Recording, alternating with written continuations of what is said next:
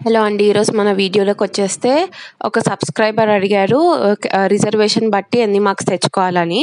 ముందు చెప్పిన వీడియోలో ఫైవ్ ట్వంటీ అందరికీ రావాలండి. ఇది కేవలం నా అనాలిసిస్ మాత్రమే అండి. నేను వేరే వెబ్సైట్స్లో చూసి అక్కడిక్కడ చూసి చెప్పట్లేదు. నేను ఇన్ని రోజులు గమనించి ఒక అనాలిసిస్ వేసి నేను మీకు చెప్తున్నాను. ఇంతకుముందు చెప్పినట్టు ఎవరికైనా ఫైవ్ ట్వంటీ ఖచ్చితంగా రావాలి. కానీ ఓసీకి కాబట్టి ఫైవ్ ట్వంటీ ప్లస్ ఖచ్చితంగా రావాలండి. ఫైవ్ ట్వంటీ మినిమం సీట్ రావడానికి.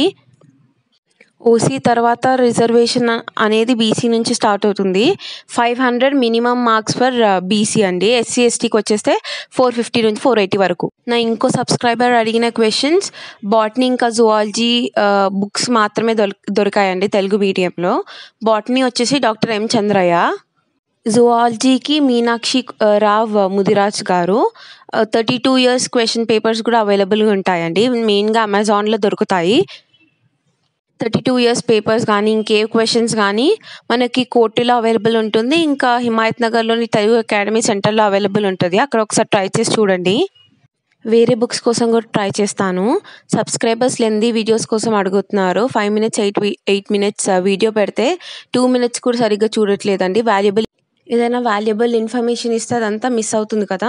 సో ఇలా షార్ట్ వీడియోస్లో చాలామంది చూడడానికి ఇంట్రెస్ట్ చూపిస్తున్నారు. అందుకేనండి.